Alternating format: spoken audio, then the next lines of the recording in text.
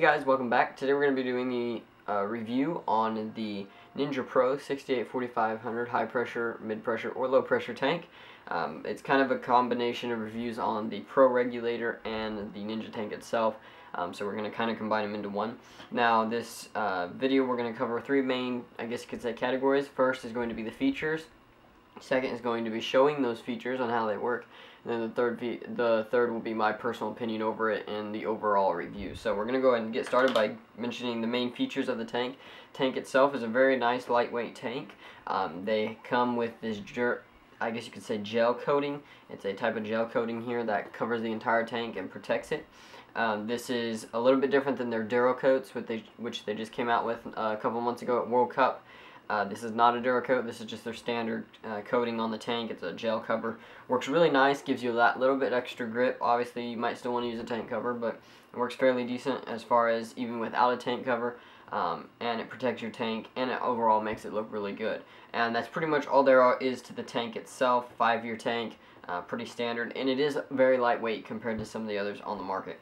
Now, when it comes down here to the regulator, this is the Pro Ninja Pro regulator. This is the adjustable series, so this is not an SLP or an HLP, which is super low pressure or super high pressure. Um, this is just their standard adjustable one. And what that adjustability allows you to do is set it at high pressure, mid pressure, or low pressure. Uh, what really comes in handy with these is it's really easy to do. Uh, you just take out a couple of shims if you want low pressure, add a couple of shims if you need it high pressure, and it works really nice, especially if you're a person like me that switches out with guns a lot. Um, it's always nice to be able to have that option for low pressure, especially if you're uh, interested in Bob Long guns and such. So it's really nice to have that. Now that's not a super low pressure, so you can't get quite the consistency as the super low pressure with the low pressure gun. However, it works just as good, and really there's not that too too much of a difference. Um, the main thing with the Pro Regulator is it is adjustable, so that allows you to put the gauge and the fill nipple wherever you need it on your uh, gun, and we'll show that in a second. Uh, comes with the standard, the new uh, standard, I guess you could say, gauges. This is like a micro gauge, I guess you could say. It's very small, yet it's very, it works really good, and you can still see the numbers on it, however, it's a lot smaller, so it's not like digging into your wrist or anything like that. Two burst disc on the side, just pretty much standard burst disc. Uh, and I believe this is their micro fill nipple. It might be their standard. I'm not 100% positive on that, which one I have here, but uh, just a standard fill nipple, and don't have any problems with that either. Uh, also, one quick little thing I almost forgot to mention is it is dual, uh, dual, eh, cannot say that word, dual O-rings, so there is two tank O-rings on here just in case one blows. That's a really helpful thing, and I really think it's why not put it on there because it's just a double safety, I guess you could say, and it works really nice. So we're going to go ahead and stick it on a marker here and show you exactly how it looks and then how to adjust the uh, the gauge and fill nipple to the position you want.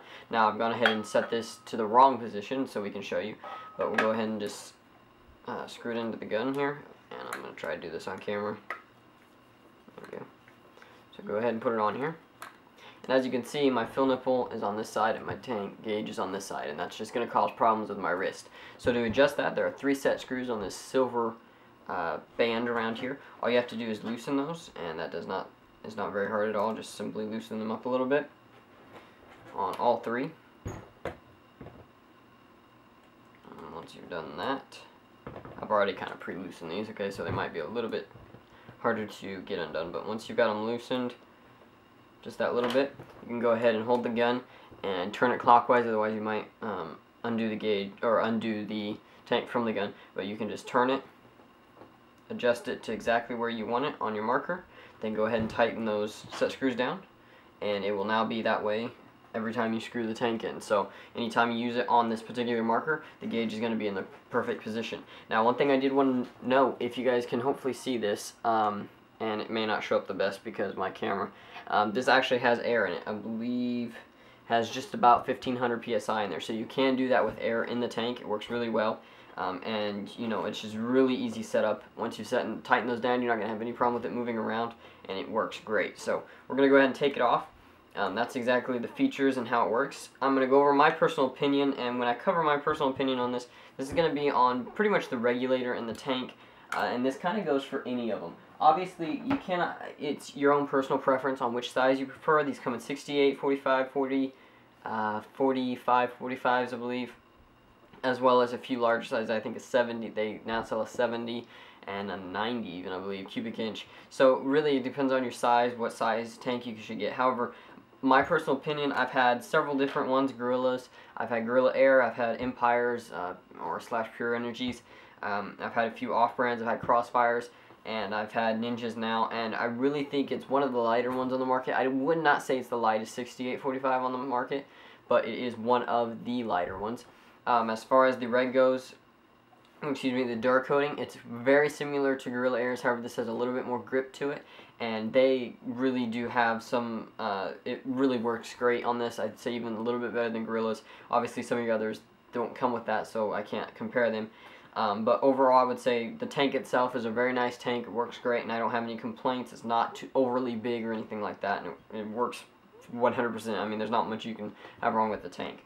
When it comes to the reg, I am super impressed.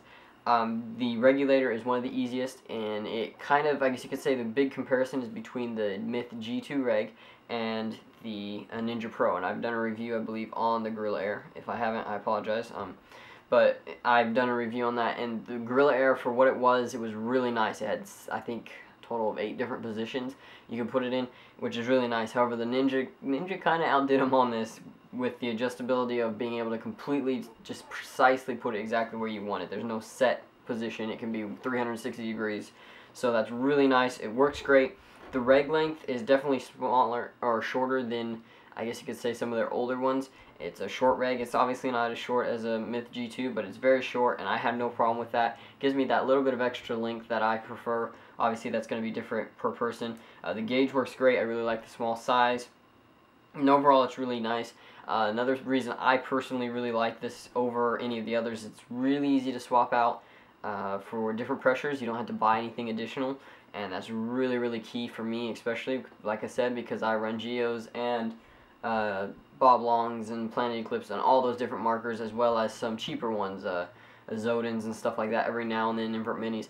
And some of those guns don't work with the greatest on low pressure, so it's very nice to be able to switch that out uh, anytime you want to and not have to go out and buy new kits or anything like that. Um, so I think that's it. The other thing I wanted to quickly mention is the fact that you can adjust this with air. So if you're putting this on another tank and you got five, you got not five thousand, you got like two thousand psi left in your tank, and you're wanting to put this on a different gun, get it set up for the next time you go out and play. You don't have to empty your tank like you do with the Guerrillas. So that's another key feature. The last thing I wanted to mention is Ninja has some of the best customer service. When I received this tank from uh, an online seller, the gel coating had cracked on this. Um, it was spider webbed all over it and called Ninja. They knew exactly what they were talking about, sent it in, and they got it fixed really, really, really fast. Didn't cost me a dime. Um, they put a new gel coating on me on it and sent the new uh, sent the tank out again. And I have to say that's better than what I've had some uh, I guess you could say encounters with other customer service. They really do have some of the best out there as far as I'm concerned. They're really nice to talk to. I've called with some stupid questions uh, once I found out the answer, they seemed really, really stupid.